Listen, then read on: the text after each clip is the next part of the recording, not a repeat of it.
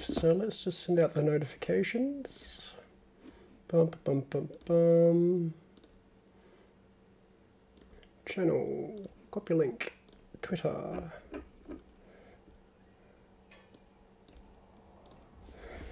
A quick off schedule stream to do a mini review the GLF1, DRZ V2 and SDR trike. Come visit us at blah. Bam, done. Okay, awesome. Let's fire my lasers. Okay, so hopefully the video quality is all right. I suspect it's not, but that's about the best we can do at the moment. So I'm still filling with the settings. Um, as you can see, we've got a couple of cars out at the moment. Uh, in the middle there, there is the SDR Racing. Which is it? SDR Racing? Oh, let me check the box. Um, yeah, SD or SD Racing. So if we can get that in shot. So you can see the picture of the trike on there. So it's a three-wheeler, uh, rather impressive. Just got it the other day, and um, funnily enough, got it with electronics, which is not something I normally do, but um, glad I did. I've now thrown most of those electronics out. Um, well, that, that's not true. It, it, was with a came with a brush DC motor, and I put that aside. Um, and the ESC, the ESC had a didn't seem to have a brake. It just seemed to cut into reverse almost immediately. I suspect it was an ESC for a drone. Um, but I'm keeping that aside for other projects. Like I got the electronics primarily for that, and the fact that it came with a servo. Um, speaking of servos, I swapped it out. Um, I was having some issues with it centering. It turns out it's just inherent to the chassis. Um, I put a much better servo on there and it centers a bit better, but still not perfect. Um, I'm very tempted to go back to the original servo just because a new servo I put in there is a a bit smaller. It doesn't quite fit as snugly. And I managed to put on the Atomic DRZ, um, so the version 1 DRZ servo horn onto it. Uh, and it turned out there was a good deal of flex in the plastic steering horn just just because of the steering geometry. Um, and going to a metal servo horn really made it a lot better. Um, there, the left and the right turn on it are not symmetrical, and when you're turned to the right, um, the servo can struggle, or it actually bends the servo horn when coming out of it in very in certain positions when you're at you're at max um, max angle. So yeah, very tempted to go back to that. We'll see what happens. I just cleaned up the electronics, so I'm having fun with it at the moment. Um, went brushless with it as well. Um, although that said, it doesn't take much power to get this thing going. So I've only got a 3000, uh, 3500 kV motor in it now. Um, I'm just using the Kyosho green motor and it zips along. I barely use 50% of the power. Um, a lot of fun, not a lot of braking. I'm using an Atomic uh, ESC from the AMZ in there, the metal uh, ATM branded one. Um, and that's been pretty good, um, but no braking. And I need a programming card for it, which I don't think you can actually get them anymore. So, not sure what I'm going to do with that. Uh, I kind of like the idea that I can't brake on it, but in the same breath, this is a chassis that does need a bit of braking. Um, you'll see what I mean when we start racing with it. Uh, on the right hand side in the blue, and let me just pop off the lid here. Now I am actually struggling with a very, very badly mangled toe. You can't see it, but I've actually got a, um, a hand warmer under my sock there just to keep the uh, blood flow to the, uh, the toe there. So I am hobbling around a bit and I'm going to try and avoid having to get up too much. But as you can see there, I've got the DRZ in the, uh, the gold with the carbon fiber. Uh, looks nice. Uh, we're running an Ensotec uh, S-Wave um, ESC, so that's a smaller of the two. Uh, that'll go up to a 5500 kV motor. Um, but I'm running it with a 3500 uh, kV Ensotec V2 motor. It runs very, very smoothly. Um, I have had some binding issues, and I originally blamed that on the DRZ. And I am still to a degree, but I've now put the uh, same motor on the F1 car over there. And um, that's also had some binding issues. So I'm not sure what's going on there. Um, but I'm working on the clearance on those, and I'm actually shaving down the uh, the pinions and the gears a bit because I think it's just a gear mesh. On the GLZ, it's because the motor's not sitting straight. Uh, the rear chassis doesn't hold the motor exactly how I want to, but I'll get into that later. But back to the DRZ. So we're running uh, Ensotec motor, Ensotec uh, ESC. Uh, we're running a, uh, I think, is it called a, a year racing uh, hack um, gyro? Um, I've got mixed feelings about that. Um, I have been using the o- Onint, I think it's Oninsky ones, and they're brilliant. Um, I'm very, very tempted to plug into here and see how it goes. But the reason I'm using the Air Racing one is it takes the micro-sized uh, connectors. In fact, do I have one laying around to my left here? Might not. Ah, there you go. So it takes uh, these smaller JST white connectors rather than the black standard uh, three pin that most people are using. And the reason for that is I'm using a DasMikro um, NB4 compatible uh, receiver. So if we get up, up real close, uh, you can see it up there. Uh, it's really, really ultra tiny. The clarity at this range is not too good, but that's because I've actually got autofocus turned off. Um, and I've got it focused on the track itself. So not much I really want to do about that. I don't want to be adjusting settings too much. Actually, how are my audio levels? They're clipping a bit, so I need to back up a bit. Let me adjust the micro and not get too excited. Uh, so what else do we have here? We've just got like a nanotech motor, and I'm running the, um, what brand are these? Uh, AOZ, I think.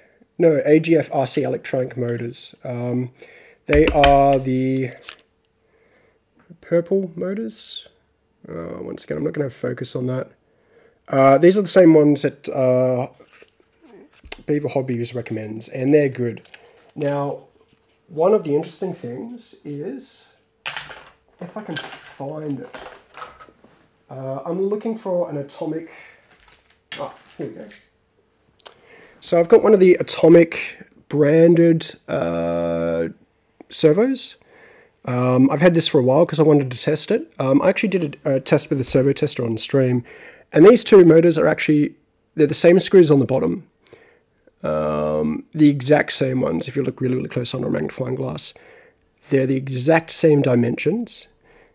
Uh, these pinions at the top are exactly the same. Um, the hole spacing is the same. The only difference is the cutouts, but in terms of uh, response speed, they're also identical. So I've got a feeling, yeah, the Atomic is just a rebranded one of these uh, purple ones.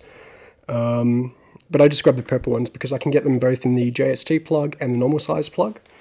And they're really, they're much easier to get off Banggood. And as much as Banggood is unreliable, they are still light years ahead of Miracle Mart, who I will bang on about having some of the most horrible uh, support I've ever dealt with with an online company. Um, I've had so many issues with them, it's not funny.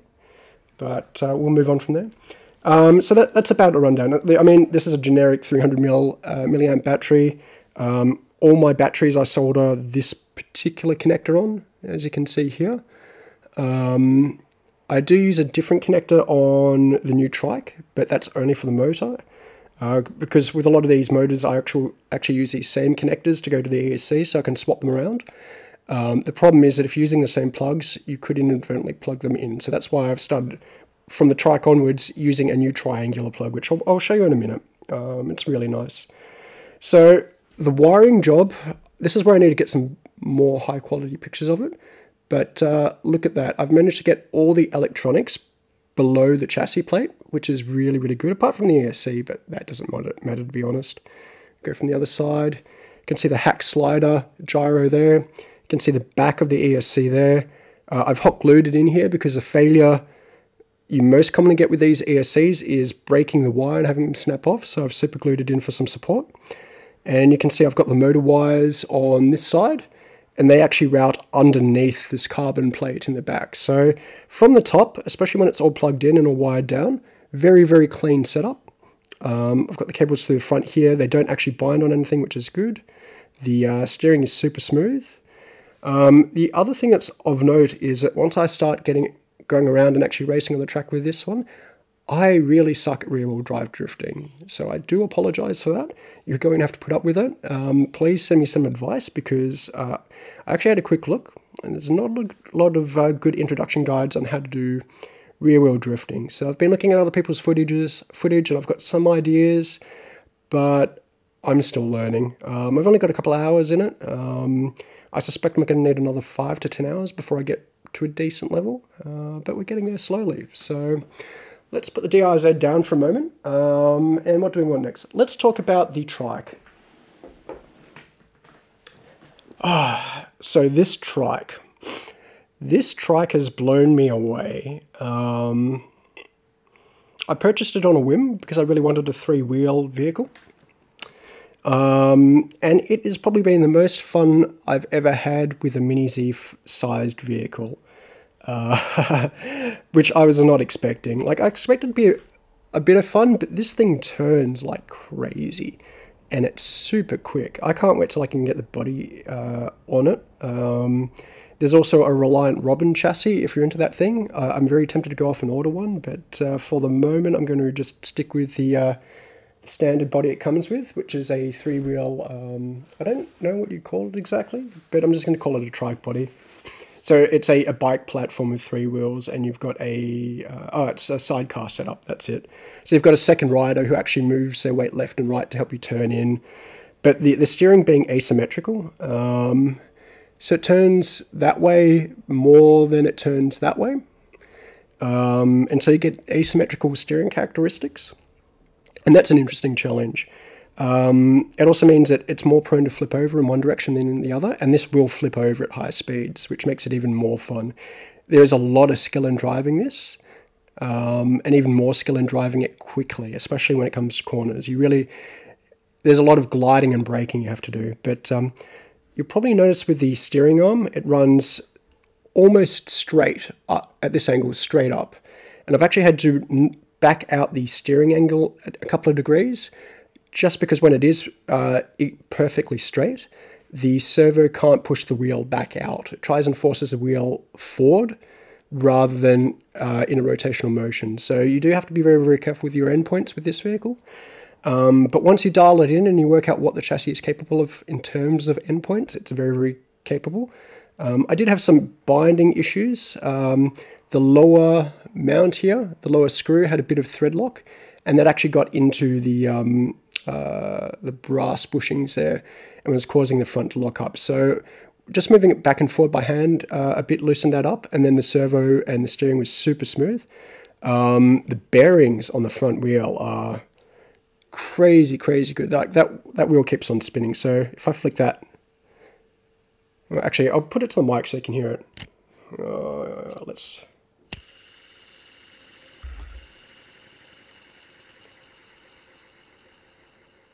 and it stopped. So that goes forever. So uh, it runs super, super smooth. I did have to tighten a bit, but that's not much of a problem. The suspension on it is also really, really, really super good. Um, really kind of happy with the, the, front end, apart from the steering geometry. Um, I really think the steering geometry needs to be um, straight up and then levered to turn this wheel, just so you don't get that straight binding issue with the wheel. Um, but I, I, don't know, maybe maybe that's part of the, the appeal of this chassis. So you can see I've got the uh, the atomic uh, chassis here. I've done some rewiring there. So this is that uh, triangular, uh, it's better if we see it single, this triangular connector. And I'm, when I undo the straps, I don't have the triangular connector at both ends, I've just got it at one end because the pins on the standard Mini Z generic motor plug right into the female end of this. which is one of the reasons I use these plugs. So I can use the standard Mini Z motors with this, or I can use uh, especially wired up Enso Tech motors. It allows me to swap back and forward. It's super simple. So um, that works well. Then I've got a, another 300 milliamp battery in there. That's all taped down with the provided strap. And I've got a full-sized NB4 receiver here. Um, I don't have any more of the micro units because I use one, the DasMikro unit on the GLF1 and the DRZ. Um, I've got three more of the FlySkys coming, but like uh, the DasMikro ones have been awesome. Um, if the DasMikro ones ever go on special, and I suspect the FlySky ones won't, I'd probably just pick up more DasMikros. And I'm fully expecting someone from FlySky to put in a comment that why aren't you supporting FlySky? And my answer to that is, well, I don't really have an answer to be honest. Like the, I was impressed that they matched the price of the DasMikro ones, so that's why I've bought three of those. Um, but I mean, their receivers, the NB4 compatible receivers, are just expensive. There's no getting around that fact. And I'm willing to pay that price, but if someone comes, if any of them come on special, that's going to be the ter- determining factor rather than any sort of brand loyalty. Um, although that said, like what FlySky's been doing, absolutely incredible. I'm, I'm super happy with all their controllers because um, I've got a Paladin PL18 for drones, and then I've got the NB4 for the ground vehicles. So, so let's get back to the chassis. Uh, I've got the carbon fiber version. Uh, the FR4 one is cheaper um, and likely just as responsive. Um, you get a bit of flex there, so it's got an integrated rear mount. That's a standard Mini Z mount. Um, this is from a Mini Q. Um, I've tried it with a Mini Z mount, um, back end. It's fine. I just continued on with the uh, the Mini Q ones because I didn't have many of these rear end. Um, uh, I don't know if this is a low mount or a just a rear a mid mount. I think it might be the mid mount. I didn't have any of those spare. And to be honest, like this was out of the factory so well tuned that it didn't even need an upgrade. Um, I decided to upgrade it anyway. I swapped out the pin uh, pinion, and I put a better diff in there, but the diff wasn't that much of an improvement. The one that comes with it is just incredible. It does leak a bit of oil, but um, I could, if you were to have a racing league, uh, this in the FRP chassis could be a very, very cheap way to get like four to eight of them and have a whole bunch of comp- people compete on a track. And because it's so maneuverable, which you'll see in a couple of minutes, um, a track this size is on the smaller end but doable. Um, the GLF 1 can get around this track fairly well because it's actually fairly maneuverable. If you're trying an MR03 or any of the rear wheel drive Mini Zs, you might struggle a bit. Um, the A uh, all wheel drive, you can do drifting on this track without too much issue. Um, but uh, this is not a good track size for grip racing. And keep in mind that these are the large, um, large panels, not the smaller panels. So I think they're about 50, it might be 50, it's either 40 or 50 centimeters by 40 or 50 centimeters. It's um, not the 30 by 30s that most people get. Um, I made a mistake when ordering. And in fact, like you can probably see the box up the back, whoops, up the back there. Um, I really should hide the shipping information on that, but I'm hoping you guys can't zoom into that. Um, I just made a mistake when ordering it. Um, this is a quarter of what I've got in there, so uh, let's get on to the GLF one, and then let's actually go off and do some racing. So, well, not racing, but let's. I'll, I'll show you how these perform because it's very rare that I get three chassis all working at the same time with such different performance characteristics, and these are probably the most distinct um, out of everything I own. Uh, they're they're just completely op- opposite each other, and I'm not going to so th- this is one of the other things. Uh, you might have been expecting a DRZ review um, last weekend. Um, I started to do a review uh, and then had a lot of trouble actually getting the words out that I wanted to. So I had a good idea about what I wanted to say, um, but I was just struggling to get the words out. And that's just due to issues at my end. It, it does happen on occasion. I do have a lot of trouble communicating these days. Um, I have my moments. Uh, it's related to the the double lung transplant. The the medication does really really bad things to you, uh, both physically and mentally, and you just have to roll with it basically. So this is a mini review. People who are really interested in the DRZ can come in and you know what? I'm going to turn that main mic volume down a bit. Uh, people who really wanted a review um, can come and see this uh, and then wait for the full review later on in the week. Uh, but this is mainly to get my thoughts together and to get some information about how these handle out to the public so people can make a bit of a decision. Um, how long have we been going for? We've been going for 20 minutes, so this would be a bit of a long YouTube video. Um, hopefully you've made it to this point, um, but I'll probably provide links to make it easier for people to jump around. So let's dive into the GLF one. And I ended up on camera, but that's fine. I'm not trying to hide too much. Um, So, probably one of the most interest, interesting things about the GLF1 and why I feel... Is that plugged in? Oh, that's the problem with the Ensotec... No, it wasn't. Okay. That's the problem with the Ensotec ESCs is they don't physically disconnect the battery. So if you forget to undo the plug, you will actually run these, um, these little packs completely dry and destroy them. So once again, you can see I've super glued the Ensotec here. I had a lot of trouble working out how to wire this one together, so I ended up putting the ESC there so I could access the button. And I put the receiver unit there. Um, normally people do it the other way around. Um, once again, well, actually this is a servo it came with. Um, there, 3500 kV motor, uh, micro receiver, just standard Nanotech 300 milliamp battery. Uh, once again, my favorite little yellow plugs. These are the one that Ensotec recommends, but I just like them because I can get really good leverage on them, and I don't like those fiddly little red plugs that everyone uses. Uh, titanium diff. Uh, I just had them had one laying around because um, I ordered the wrong one for the LM chassis for my 787B build. Um, so I decided to use it on my F1 car, and I thought that was rather appropriate, and I'm glad I did because this thing is an absolute beast with it in there. Um, I need to adjust the rear, uh, so the front um, height.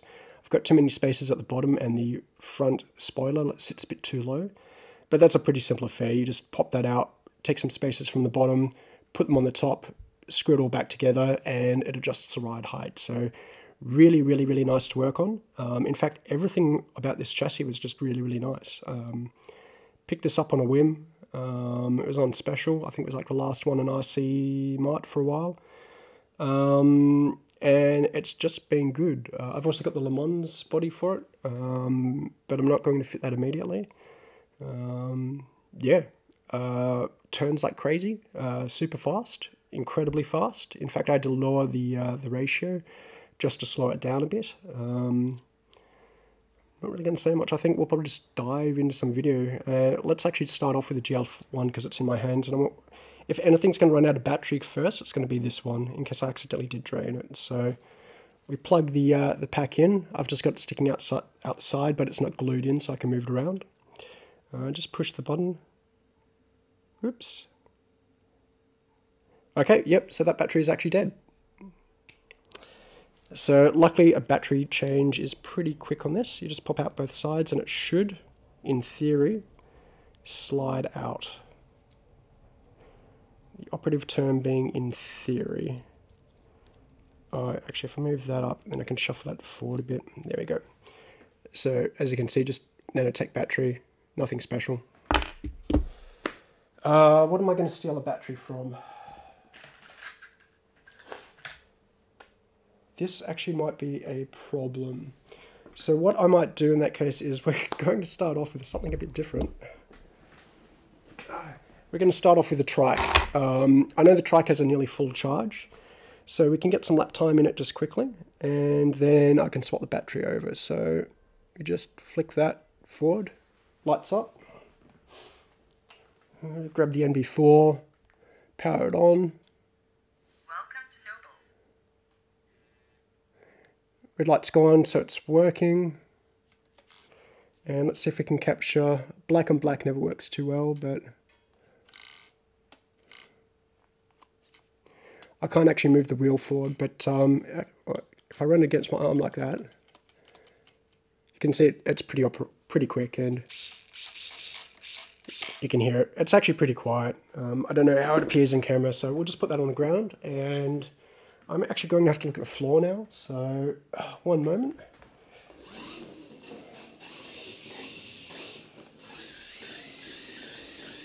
So as you can see, the turning circle when you're turning left is pretty tight. And then if we go to the right, it's a bit wider. So to the right, it turns like um, a uh, an all-wheel drive Mini Z.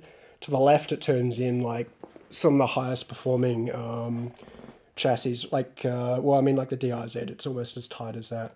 One of the interesting things is if you put enough power into it, you'll actually get one wheel off the floor. So if I can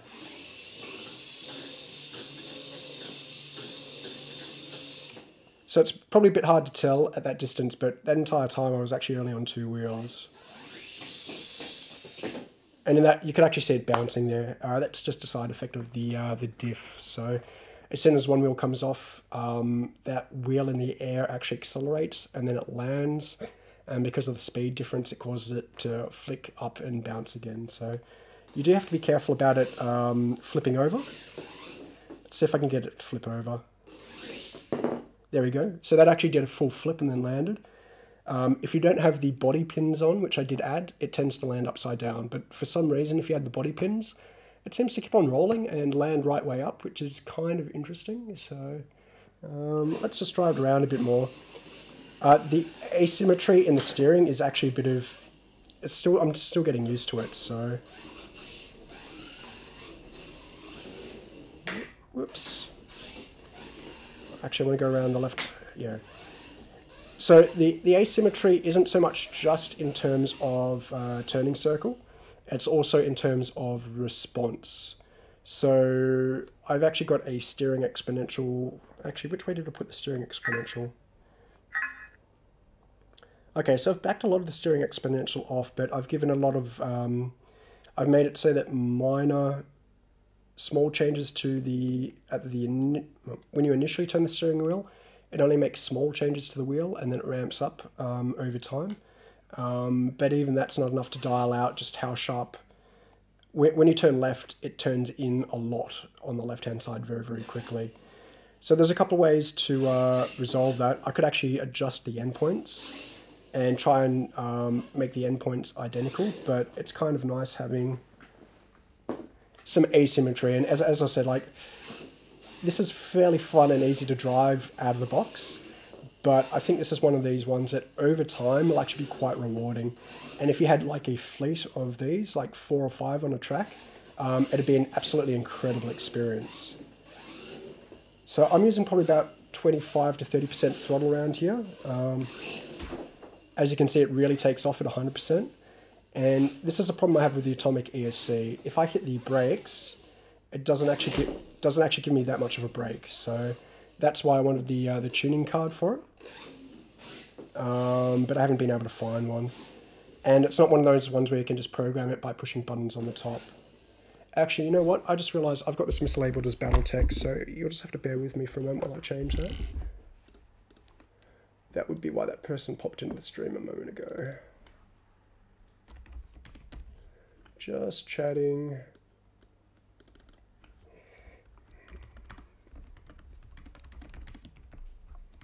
GLF1 and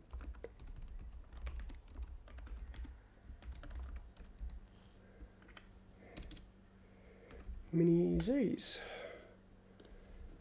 Silly me. Okay, that's a bit better. Um, yeah, so back to where we were.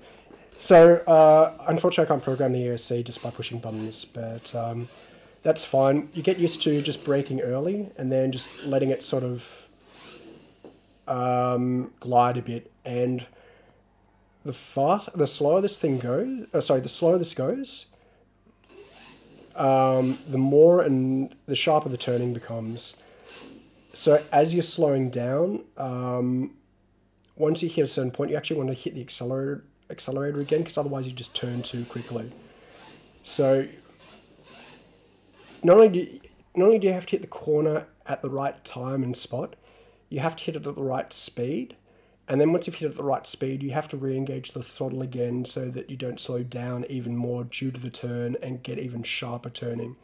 So that means when you start the turn, so if you turn the steering wheel to a fixed spot, left or right on the steering wheel, and start the turn, as you continue through the turn, you get sharper and sharper and sharper because you end up going slower and slower and slower and getting more grip, and that causes you to just dive in even deeper. So it's kind of weird. There's no linear response on this vehicle at all. It's all um, logarithmic response. And that ends up being a bit of a challenge. And luckily, the, the natural defaults where. Is natural defaults the right word? Um, I guess a sweet spot is fairly easy to attain and fairly tame. So this chassis is pretty well dialed in that in that regard in terms of lengths and um, how far things turn left and right. But uh, once you get to once you learn the chassis and start modulating the turn while you're turning, um, you can get even crazier. You can do even crazier things on it. And I find it's not uncommon for me to, when going through the turns, have the uh, thing on two wheels the entire time. So I'm still getting a bit of blurring on camera, but I can't really adjust the um, uh, the exposure anymore uh, with this amount of light.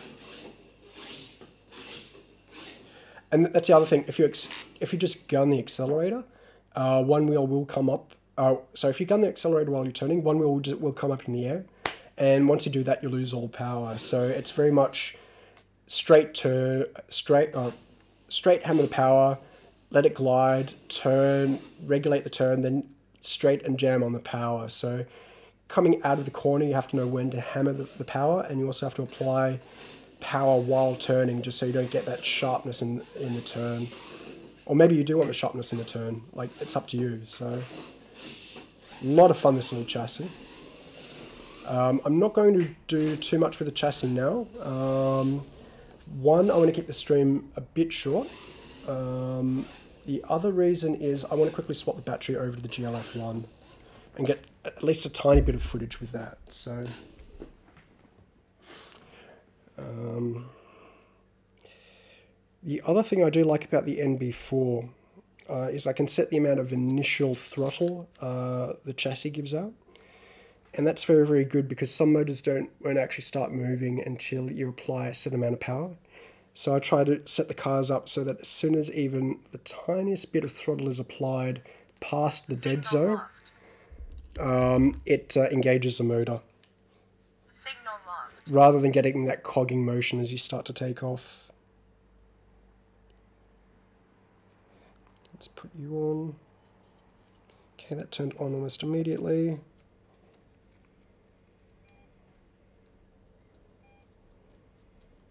Why are you beeping?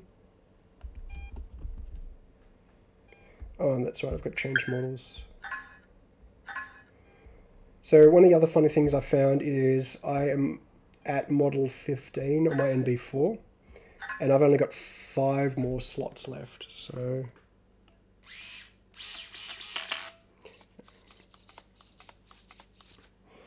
oh, so there we go whoops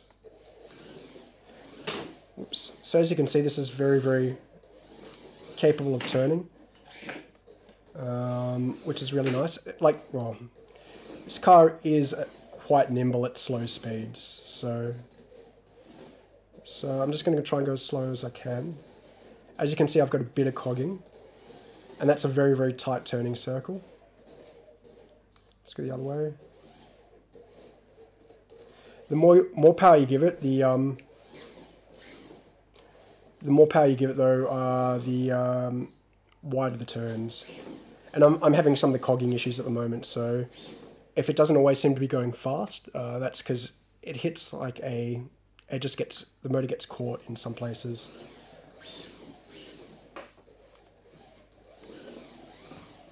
And it's actually making it a bit hard to drive. It's also actually affecting the steering. So when I get that cogging, the rear wheels don't rotate very well. let me have a, another look.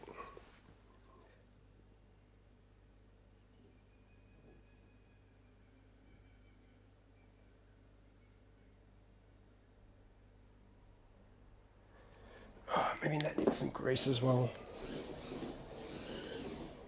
So, I mean, this is a, uh, a pretty small track. Actually, I need to dial out the um, steering response on that. Yeah, I do. Uh, what do I want? I want... So this turns very, very sharp. So I want to actually dial out the steering response. I want it to be less sharp.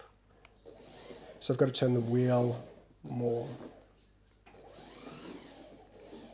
It's a bit too much, so I'm at 41%. Let's dial that out to 30.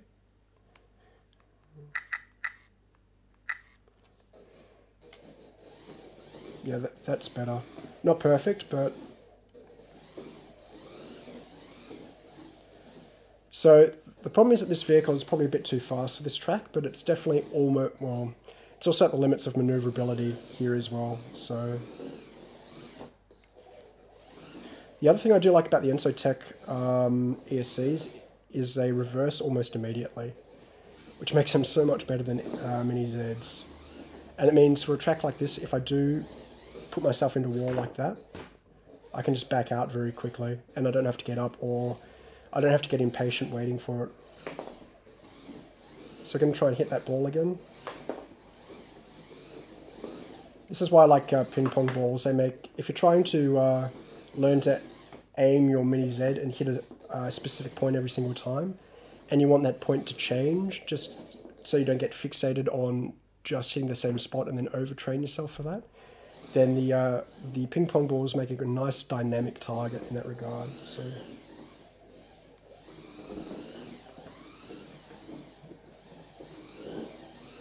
So we're just going to do some loops, and I'm going to. I've got one obstacle which I'm going to try and avoid. So.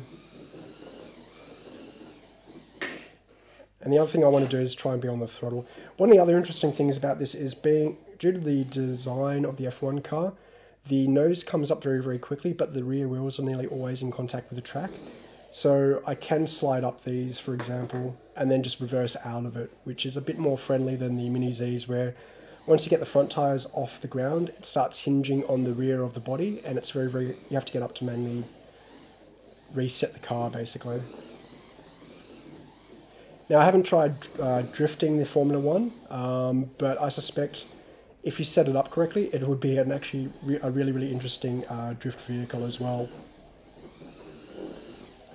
Uh, the only problem is getting tyres for it is a um, not the easiest thing. Although I suppose you could just use the MR03 tyres on it, so... But uh, yeah, super capable platform on a nice long big track. This would be wonderful. So that's that binding issue. Um, I had full throttle and was just sitting there, and it just randomly happens on occasion. So, oh, that dug in. There we go.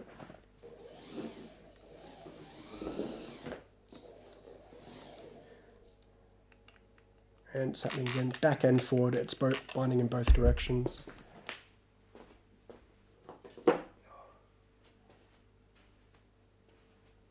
Yeah, and I can feel it and I, I, suspect it's just the, the motor itself, like being kinked slightly to the side.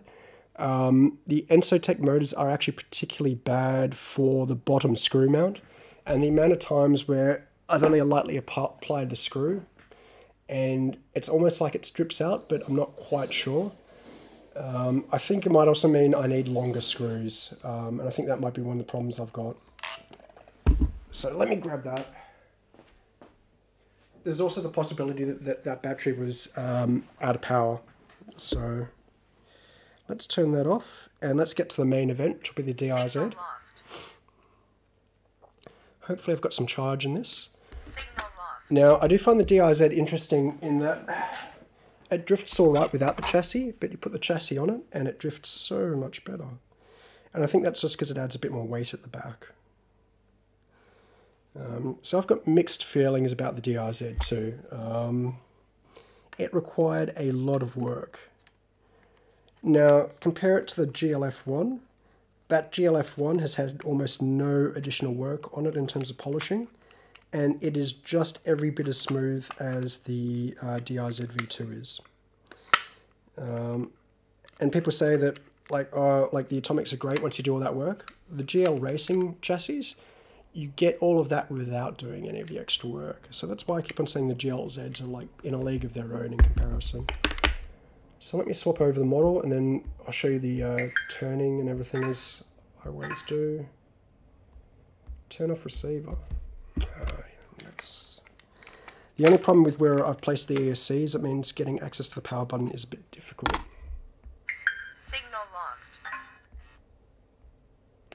Traxxas UDR, Hemmet P03, MA030. Actually, that's another vehicle I have to do a review of. So I actually worked out how to do a counter steer kit for the MA030 with off-the-shelf parts, like no special diff, no special gears, um, and in fact you might actually already have the parts you need laying around on hand. Um, and you can do a almost 150% counter steer with just a single part swap, and it is absolutely incredible when you do that. Oh, and I forgot to turn the. Uh, how long are we at now? We're at 40 minutes. So, no one on YouTube is going to like the length of this video, and that's kind of fine. But as I said, this is an initial thoughts video for people who are super desperate to see a review and some footage. Um, they can, they've got something to watch. Uh, everyone else can just wait until I get that footage out. And there'll be more footage down the track anyway, so just need to make sure that's planted. There we go. So, and I don't have steering.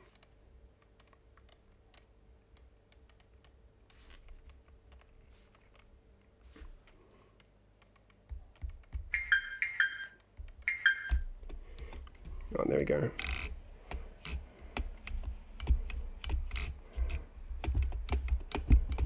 That steering is very, very slow, so I suspect this might be low on battery. I haven't had a chance to charge any of the cars, so we'll see how it goes. You normally see that um, that uh, it just keeps on going. Once you make a turn, it just keeps on going in the turn. So, so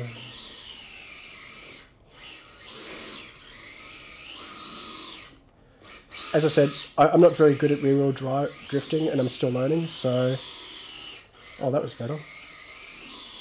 I'm still learning the uh, the throttle control aspect of it, um, but I can't do. So I can do really really slow large turns like that that are not drifting, and I can do the really really tight stuff, but I can't do medium or long drifts. So this is feeling very, very sluggish actually, and I suspect it's just a low battery issue.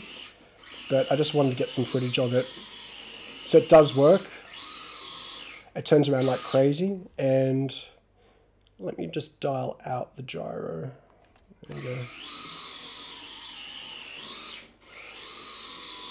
Every time I've gone to do drifting practice with a rear wheel drive, I've always felt that the uh, the gyro gets in the way I know everyone installs gyros on it, and I did play around with it a bit, and it does make it easy to make that left to right transition, but I, I have normally got it turned down to basically nothing, so I don't know how much help it is.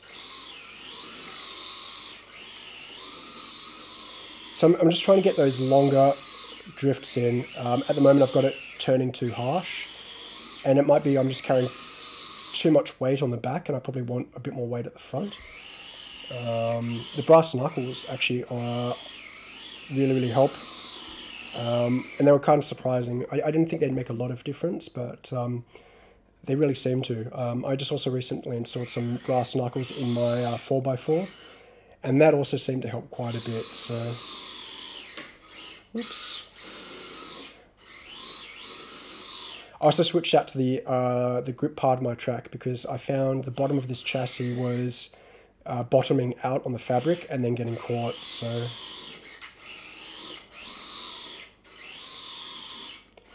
okay, so getting a bit better. There we go. So I actually dialed out the throttle exponential, so I've got um, a lot more of the uh, trigger pull managing a very, very small range of the throttle curve. And I got that almost, I, I just dial that back and forward, just so that I, I, get a lot more granularity around that and I get a lot more control over the motor and uh, how much it's um, uh, at what speed it's going at. And there we go. Oh, that was almost there. So yeah, I, am at the point where I'm starting to understand rear wheel drift driving, but not quite there yet. Like that would have been great if I had had a bit more throttle on it. Um, but yeah, th this battery definitely feels like it's dying as well. I'm also transitioning from left to right way too quickly, and I need to really match what the car is doing and I only learnt that in the last couple of days by watching YouTube videos. It's one of the things they don't seem to mention in the how-to videos for wheel drifting. But um, apart from the amount of work it took to get this chassis working, Um, it's been, a, I'm pretty happy with the results now. There's still some things to be resolved, and I think I've got a whole bunch of dying lipo cells which I need to go off and replace. But um, yeah, it, it, took a lot of work to get here, but the, the end results are actually fairly nice. The, uh, the rest of it's basically on me to get better. Yeah, that's a bit better.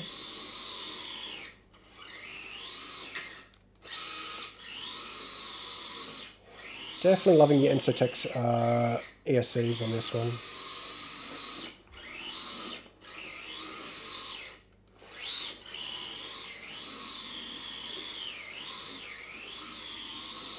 I probably need to get the second webcam set up and pointing at my finger so you can actually see what I'm doing. Um, I know they do that in the drone world a lot, and um, I think if I'm, I'm very tempted to do once I get the drifting down a series on how I learned to drift, just to help others out. And I think being able to see what my finger is doing while the car is doing it um, would be fairly beneficial. Because I found that the in, intuitive, like you hear people describe it and you try and do that and it just doesn't work. Like I don't have enough time to tap the brake. My uh, my trigger finger just is not quick enough, um, and it's only getting worse. And so I've had to uh, try other tricks to um, get it. In fact, I probably need to dial the springs in and make the um, the spring a bit sharper. So that's it. I'm going to end this up shortly. Um, I'm going to continue to drift, but I'm going to wait till the batteries are almost out, so I'm going to charge them when that happens. Um, I hope you got something out of this. Um, expect a full review on all three of them. The review of the DRZ will be the one coming first, uh, followed probably by the SD Trike, um, and then the GLF1. Um, I'll give you a spoiler now. Uh, I love the GLF1. I love the Trike even more. In fact, the Trike is probably my most loved vehicle at the moment. And the DRZ, I'm liking the longer term prospects of it. Um, do I like the DRZ itself? I don't know. I'm going to have to pull out my Super Skeeter and give that another go. Um, and see how it compares to this, but I don't have enough drift chassis to say whether or not this is good in all honesty. Um, I do have an order for a GLD, which is the GL Drift Racer, and hopefully that'll be coming in the uh, the near future. Um, and then once I've got that, I'll be able to compare it. But um, it's definitely light years ahead of the MAO3, um, at least for drifting. Uh, and it is a lot of fun, but it's a lot of effort. It's a, it it is a big commitment, and I don't think you really want to do it as your first DIY build mini Z type style chassis. You probably want to take on something a bit easier. Um, like the, even in the atomic range, there's better vehicles to start with than the uh, the DRZ, um, like the AMR or um, the DIZ itself would probably be easier, um, or even one of the all-wheel drives. But I'd probably recommend starting with the GL Racing because you will get end up with a really good working chassis, um, and it's very very hard to screw up. And then you'll understand the basics and uh, have a better idea of how to put the atomics together. Um, but that said, Atomic's improving, but uh, they're still not quite there yet to where I, am happy with them. I love them to death, but um, th there's just that tiny bit more polish they need, and then they'd be perfect. So thanks for joining us. Um, expect the reviews and um, keep on drifting. Have a good one.